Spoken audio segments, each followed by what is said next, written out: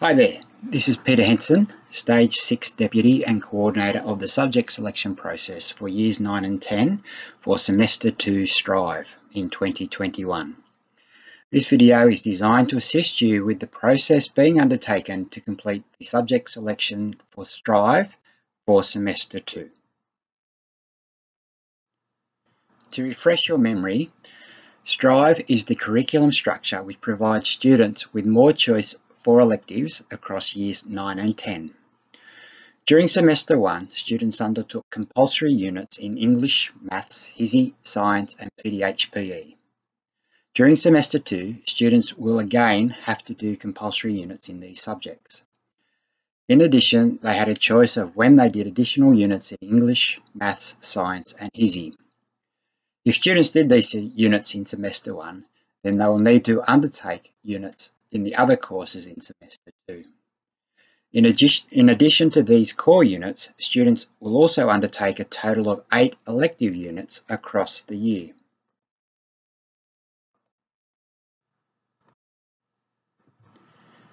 For example, in semester one, if you did extra units in English and HSIE, then you need to choose science and maths in semester two while you're undertaking the core units. If you did science and English, then choose maths and HSIE in semester two.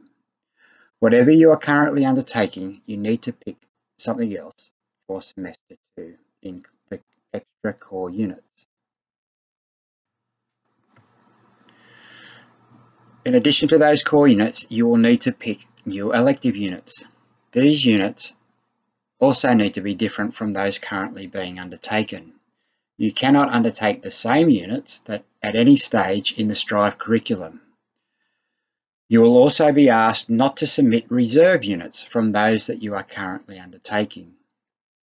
The school will examine all the choices submitted before finalising the development of the pattern of study for semester two.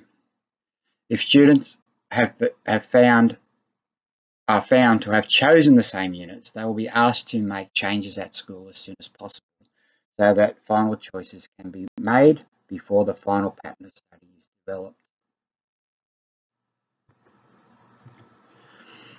The normal process of choosing subjects is undertaken. Students will be given a sheet with a unique code on it and this gets entered into the EdVal website. Two boxes will appear. One is inactive from semester one and the new one with the green opens for submission bar is the one you should click on. The first choice you will make is your most preferred elective unit.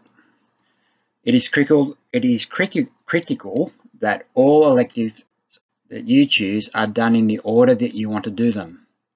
The way the electives are presented are in alphabetical order based on their codes. You may need to scroll through the list to find the ones that you want. Only those being offered in the semester will be listed. For AVID students, you are asked to ensure that your first choice is the appropriate, AVID unit. For Year 9, AVID 112, AVID Expansion, or in Year 10, AVID 114, AVID cons Consolidation. After picking the most preferred elective, you will then be asked to make five selections from the compulsory core units. The five units are listed for you and the five choices which follow, you must pick each one that, are, that is listed. The order that they are chosen does not matter, just that all five are entered. In the past, places in these classes were determined by each faculty. In the STRIVE process, the classes are determined to best fit the choices that students want to undertake. The next two choices you will make are for the additional compulsory core units. Students will have already undertaken two of these courses listed and they should pick the two opposite they have not yet completed to ensure that the requirements for those courses are met. After picking the compulsory units, you will then be able to pick the next three elective units. It is very important that you pick these in preference order. Scroll through to find the second one you want and so on. You will not be allowed to do the same units, units you have done previously, so please look carefully at your subject selection information sheet and avoid choosing the same units, even as reserved choices.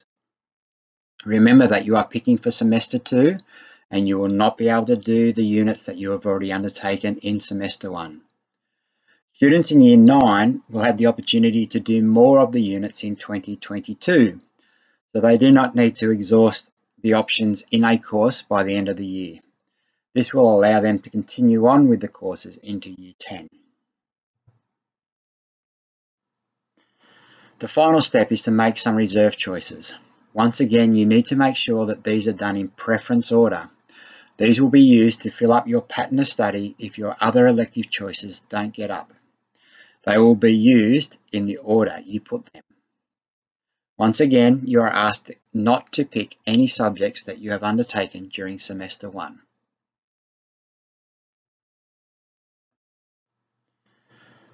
Once all the choices are entered, students will have their, their selections examined to ensure that they have all the core units required and that they have not picked any subject that they have previously done, even as a reserved choice. Codes and information sheets will be handed out on Tuesday the 20th of April. Students will be asked to complete their choices overnight. Any issues which are identified will be examined over the next two days and a teacher will sit with the student to make adjustments to the choices prior to the final pattern of study being established. If you have any additional questions, please contact the school.